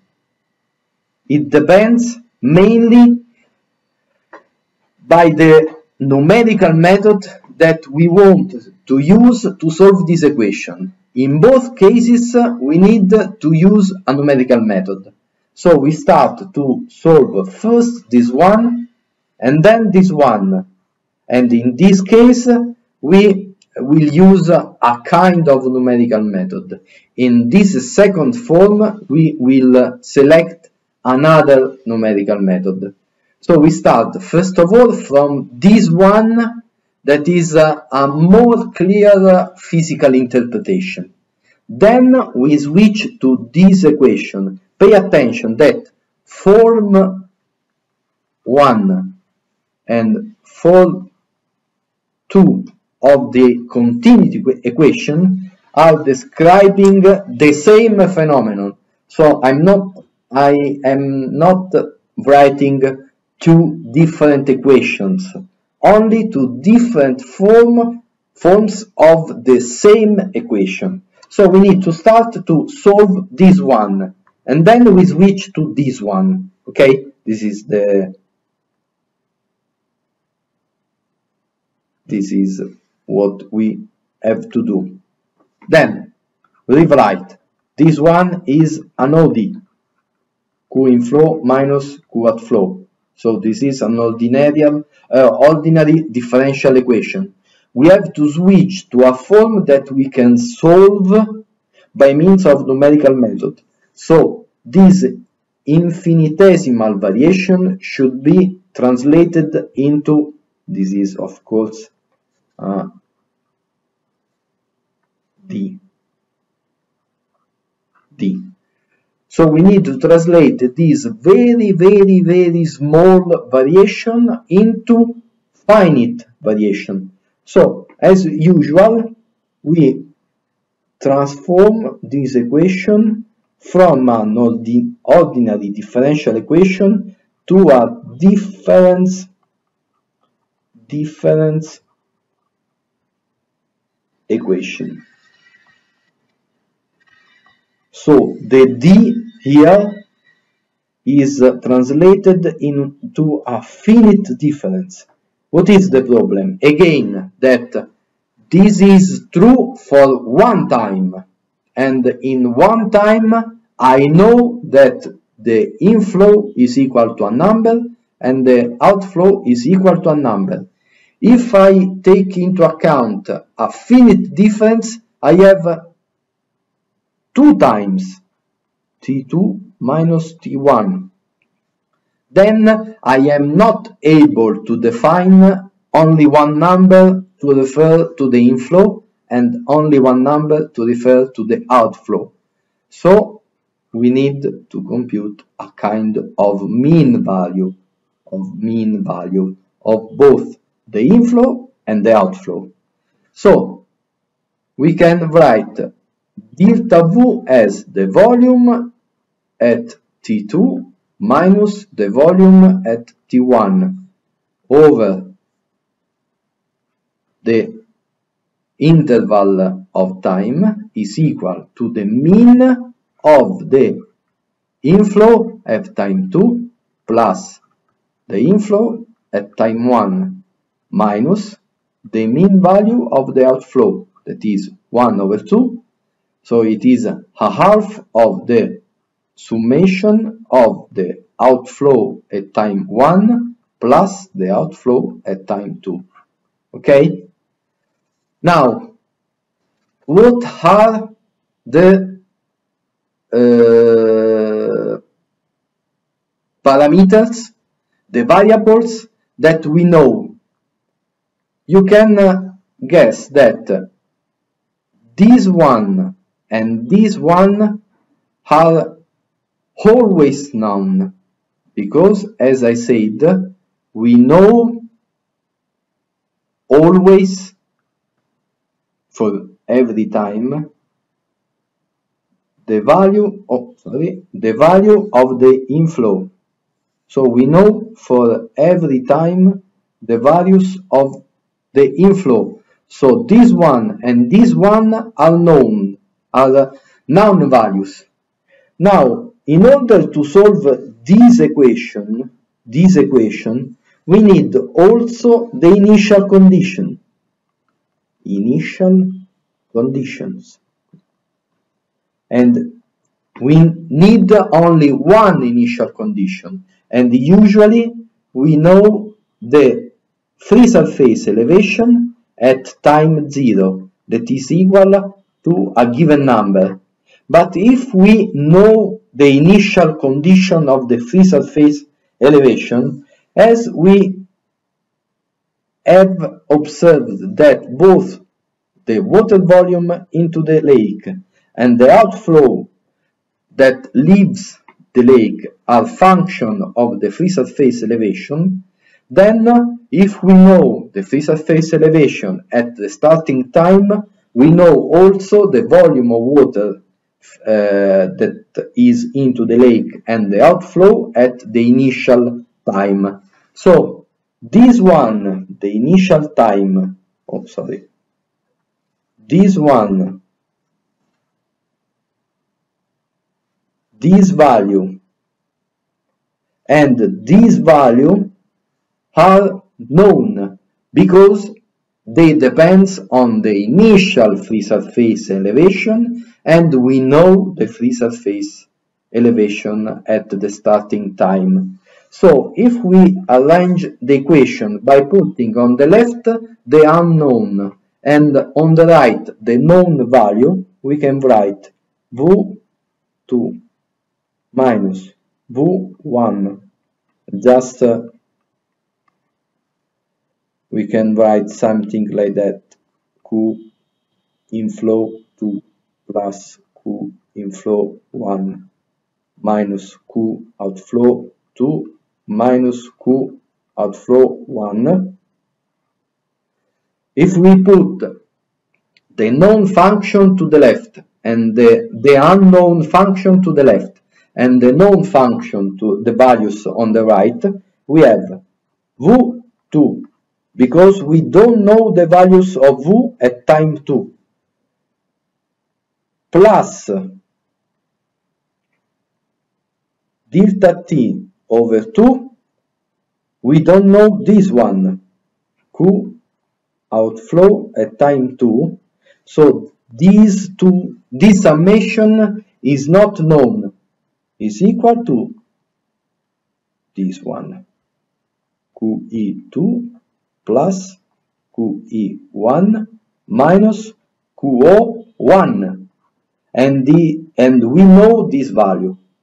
As you can observe here we have one unknown and two unknowns so we have only one equation for two unknowns. So it seems that this problem is unsolvable, but we can observe that both V and outflow are a function of the same variable, that is the free surface elevation. Indeed, we can observe again that V is equal to a function of the free surface elevation, the outflow is equal to another function, the free surface elevation. Also, the summation is a function of the free surface elevation. Then we can write something like, like V plus delta t over 2 qo is a third function of zeta v. But which is this function? Is the summation of f1 plus delta t over 2 f2. So, if we know the rate, the stage storage storage curve, and if we know the stage outflow outflow oh, sorry, the stage outflow curve if we know both of these curves then we can know also the function that give us the values of this summation then the equation the difference equation can be written in this way. The function f3 computed at free surface elevation at time 2 is equal, if we come back, to this number. Indeed, if I put here delta t over 2 qe2 plus qi1 minus qo1. These numbers are all known. I know also the uh, time step. Then also all this term is a number. Which is this number? Is the number that the function f3 assumes when the free surface elevation is equal to the free surface elevation at the time 2. So we can compute zeta v2 as the inverse computed as delta t over 2 QE2 plus QE1 minus QO1. So we need to compute the inverse of this function. I switch to Italian. Quindi che cosa abbiamo fatto? Siamo partiti dall'equazione differenziale. Abbiamo scritto questa equazione differenziale che nella sostanza è un'equazione differenziale ordinaria. L'abbiamo scritto alle differenze, quindi passando da questo d infinitesimale a questo delta finito. Siccome questa è valida in un istante, mentre questa per poter essere scritta ha bisogno di definire due istanti, abbiamo difficoltà nello scrivere il valore della cui in ingresso e della cui in uscita. Quindi dobbiamo prendere un valore medio. Se facciamo un po' di conti, alla fine della fiera otteniamo una funzione, che è questa, in cui abbiamo, otteniamo un'equazione in cui abbiamo, o meglio, sembra eh, che questa equazione abbia due incognite. Infatti non conosciamo né il volume e né la portata in uscita al tempo successivo, note sempre la portata in ingresso e la portata in uscita adesso. Quindi nella sostanza questa equazione, dove vedete 2 è il futuro, distante da adesso un delta t. Io conosco esattamente quello che sta succedendo adesso, quindi conosco tutto quello che ha apice 1, quindi ho Q1 e ho of course I oh no sorry of course here I forgot plus V1 ok?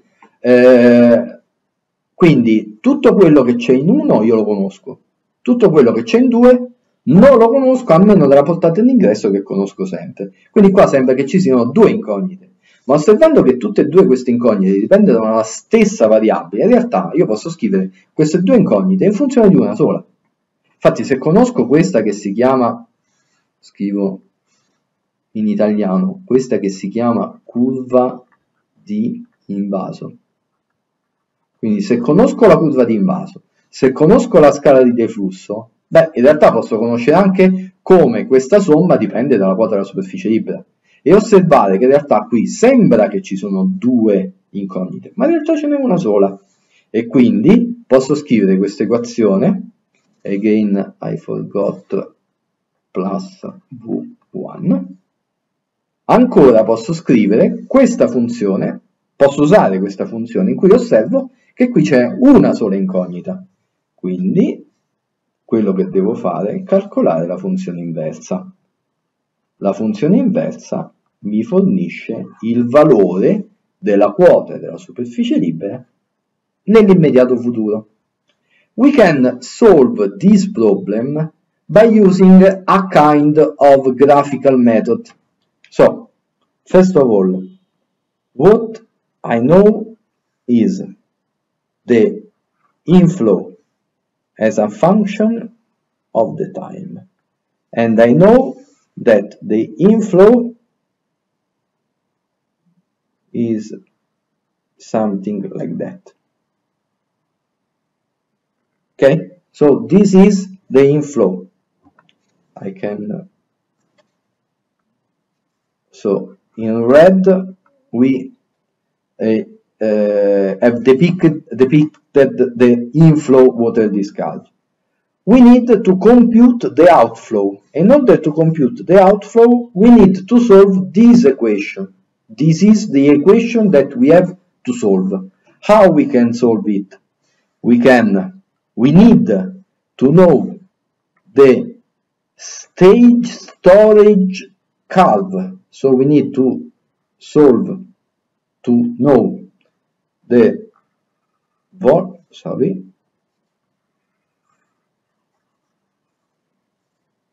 we need to know how the water, the volume of water contained into the lake changes as the free surface elevation changes.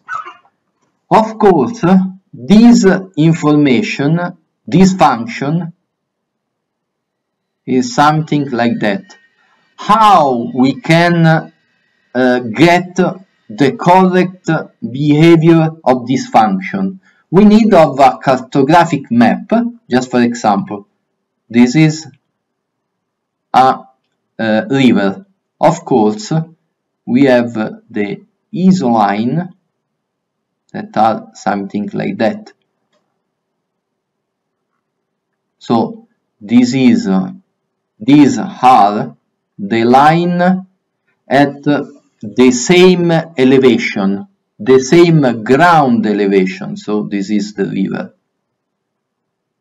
Okay. If I put a dam here, of course, if the water level into the lake is equal to a certain number, I have this one. And I can get the volume of water for this small value. So this is one uh, V1. If I increase the the free surface, I have another volume. So I have another number. And again, if I increase again the, the water, I have also this new value of the volume. So I can uh, build this rate, uh, this stage storage curve by looking at the ground elevation or if the lake is already existing uh, by means of bathymetric survey. But we can get the value of the volume of water as a function of the free surface elevation. So this is F1 of zeta V, V equal. But also we can have the outflow as a function of zeta V. The stage uh, outflow curves, curve depends on the feature of the hydraulic structures that is built to convey water. Just for example, this is a spillway. I can write a kind of formulation if, if this is H0, the water discharge is equal to a coefficient for the, I switch to this one, of course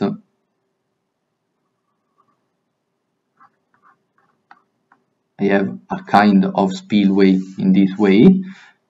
And uh, this uh, dimension is uh, L. Then this is L H0 square do 2 sorry I write this one here. Q outflow is mu L h0 square root 2g h0. It is true only for this kind of spillway, but in general we can get a relationship between the h0 or if you want zeta w, the free surface elevation, so we can get a relationship between the outflow and the free surface elevation. If this elevation is zeta s, we can get that up to zeta s the outflow is equal to 0 and starting from zeta s we have a kind of function and this is qo is equal to f2 zeta as a function of zeta v. But again we can get based on these two also the f3 function that is something like that. Okay? Indeed, f3, if I get here, f3 is equal to f1 plus a number times f2. If I know f1 and f2, I can compute f3. Now we start from an initial values value of zeta v. You can say zeta w1. So this is the initial elevation of the free surface. So we can get the initial value of the volume contained into the lake. We can compute from the stage outflow curve the initial value of Q1 and from this one I can have the initial this is Q inflow at the time 1 but also Q high the time 2 so as you can see here we know this one this one this one and this one. So we can compute this summation. And this summation, as you can see from this relationship, is the value of the function f3 computed at the free surface elevation at time 2. If we come here, we know the value that we can call just for example we can write this one uh, sorry this one this one okay? All these number can be called with uh, a letter just we can uh, call with an A. So I'm saying that A is this one then I go to the f3 function and this is zeta. W at the time 2. So we have uh, computed the free surface elevation in the future. And uh, based on this value we can we can switch to another color. We can get both the outflow and the new volume as you can see, the inflow is higher than zero, the outflow is lower than zero, then the volume contained into the lake is increasing, of course, and the free surface elevation is increasing too. But the outflow is equal to zero, so we can come back here and we can say that the outflow here is equal to zero but we can go uh, ahead then.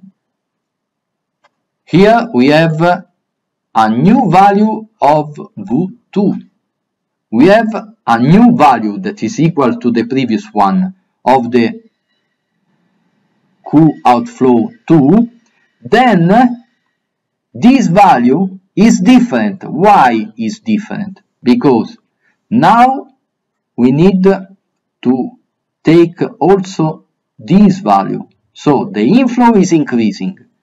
Then these two numbers are different. This is equal, but this is, this is higher.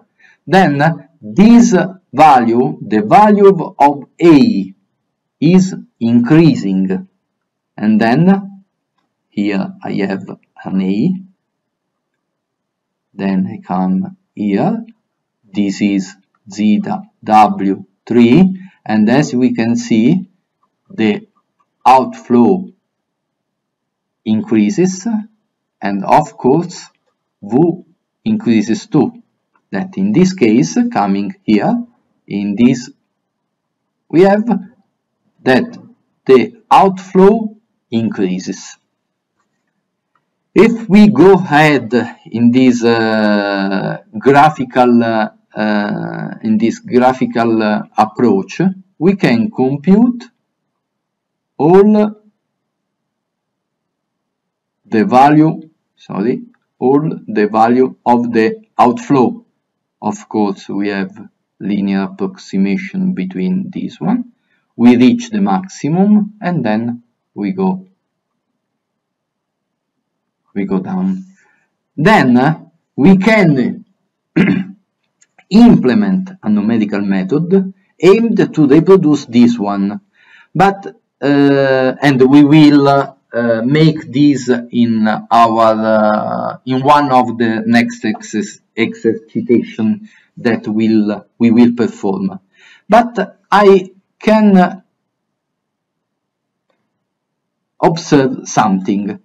What about something changes about the problem? What I mean when I'm saying something changing, uh, something changes uh, in the problem. Here we can see that all the results depends on this function and this function. So if we change the spillway, this function changes too. Then the resolution changes too. So we can take into account a series of variation and I can observe that zeta pu. So we can have as done before something like that. Hmm? And we have observed that taking into account the phenomenon, this is the inflow and this is uh, change the color and this is the outflow. Okay? What happen what happens if I change something about the spillway just for example for example for instance if this is zeta s that is zeta s what happens if I increase the elevation of the spillway? So I can modify the spillway by increasing this parameter. So this parameter is higher. In this case, you can guess that the function that changes is the second one because zeta s is the is higher, but the function is more or less the same. Okay?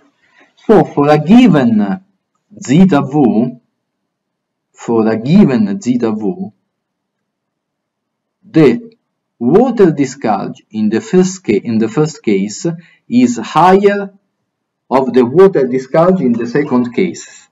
So what I'm trying to saying that this this water discharge is something like that. So the water discharge, the outflow water, the outflow is lower QO max is lower than this number. So it seems that it is better to have a higher a higher spillway. So a spillway whose uh, upper part is located at a higher elevation. This is, this is true, but we have to pay attention to also to the free surface elevation. And I try to explain. If I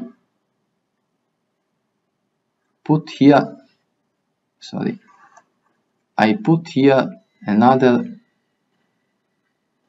I have this one, Q T. This is the inflow and this is the outflow. This is the solution of this equation is equal to inlet minus Q outflow. This is the solution. But if I put here zeta w and the time, I can guess that this equation can be written also in this way q i minus q o over h. The equation that we uh, we written in the second in the second form as you remember. Yeah we are we are talking about this form of the equation.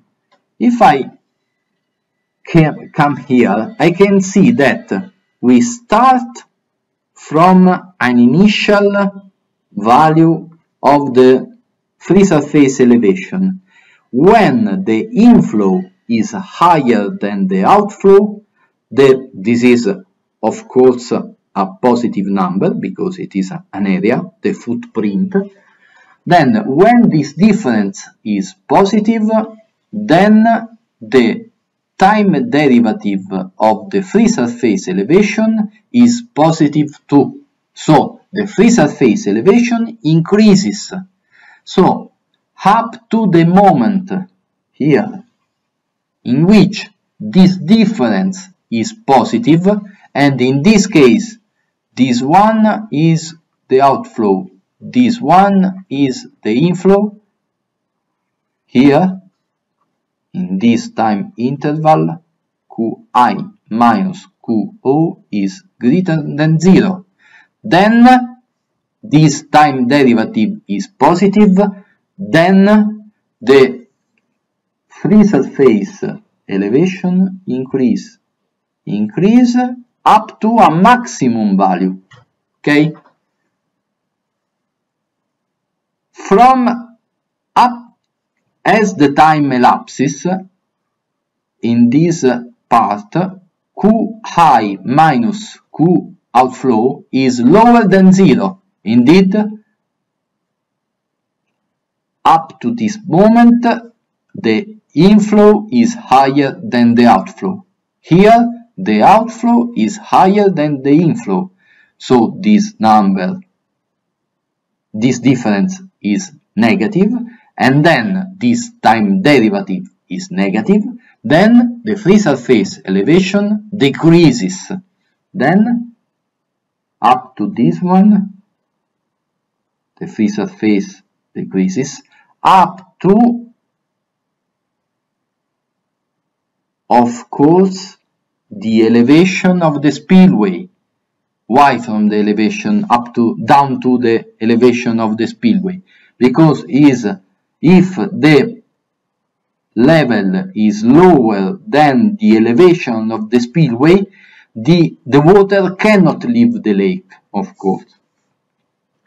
If I increase the elevation of the spillway, as in this case, we have seen that the water discharge decreases too, and it is a good aspect.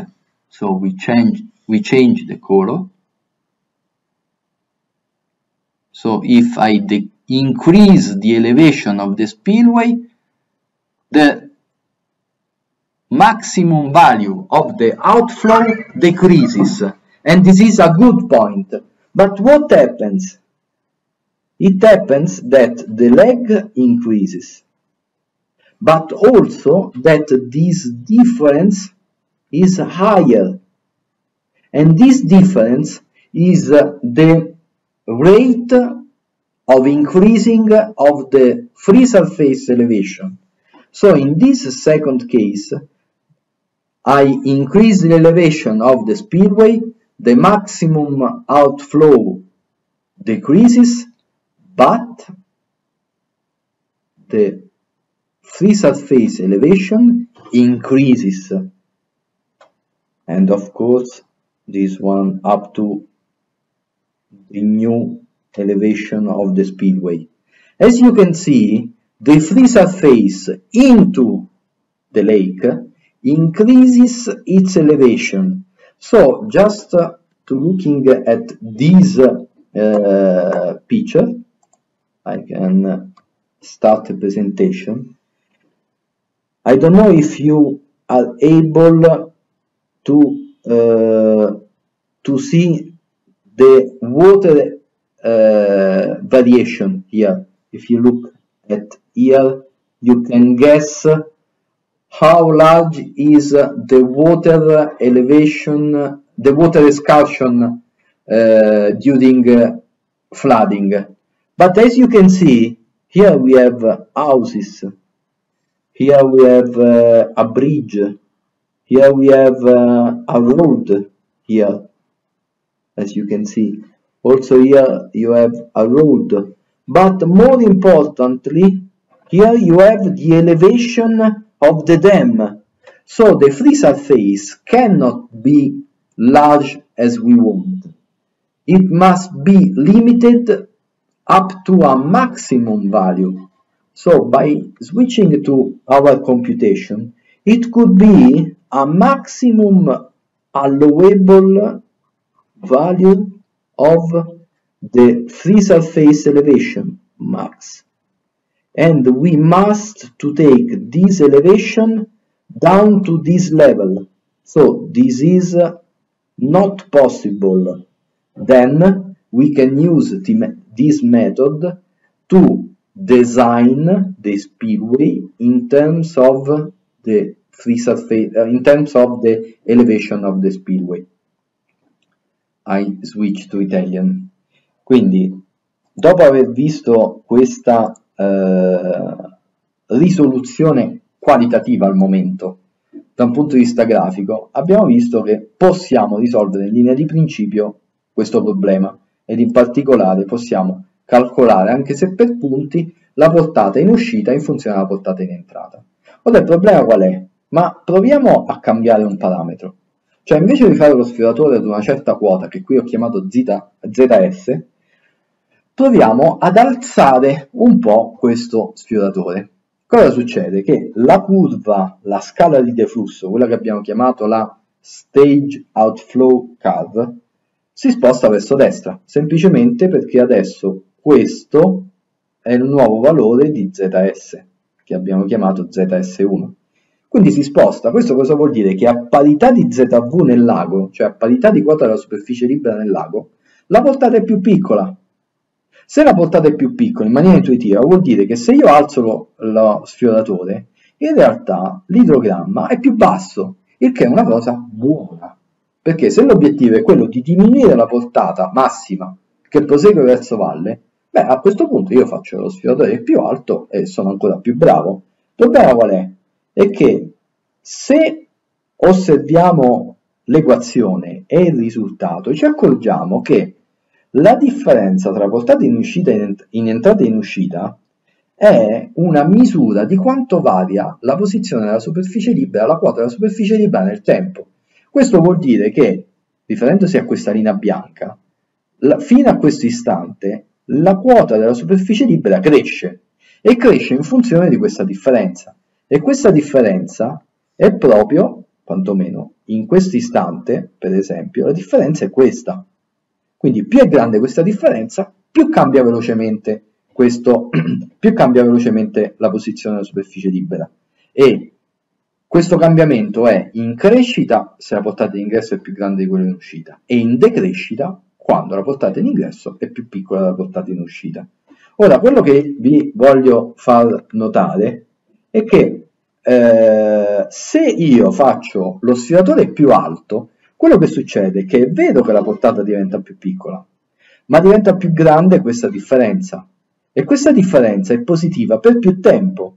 Quindi il fatto che la differenza è più grande mi dice che il tasso di crescita della quota della superficie libera è più grande. Quindi passo da questa linea bianca a questa linea verde. E dura di più, quindi il valore massimo raggiunto dalla quota della superficie libera è più grande rispetto al caso precedente. Il che è vero che diminuisce la portata, ma è vero d'altra parte che aumenta la quota della superficie libera nel lago. E se vi faccio vedere, vi torno a far vedere questo, questa figura, questa eh, fotografia, vi faccio vedere che qui ci sono le case, che qui c'è una strada, la strada sta qui, qui c'è un ponte e soprattutto qui c'è la diga, quindi non è che possiamo cres far crescere il livello quanto ci pare, ci sarà proprio una capacità massima del lago di contenere dell'acqua e quindi dobbiamo dare un limite al valore massimo. Quello che possiamo fare è What we can do is to select the correct values of the elevation of the spillway in order to reach exactly the maximum allowable allowable uh, free surface elevation in order to exploit all the capacity of the lake. Quindi quello che possiamo fare è proprio ripetere questo conto al variare la quota della, dello sfioratore per ottimizzare, per sfruttarlo al massimo il lago. Cioè se io posso raggiungere un massimo valore della portata, eh, della quota, della superficie libera, allora cerco di sfruttare al massimo la capacità del lago, quindi cambio la quota dello sfioratore fino a che la quota della superficie libera non è proprio molto simile a quella massima che mi posso permettere. Then this is this difference is the maximum allowable decreasing of the outflow. So we can write this one as delta delta Q outflow. So this is the maximum reachable difference or better decreasing of the inflow of the inf of the inflow water discharge. And it's one o'clock, then we have finished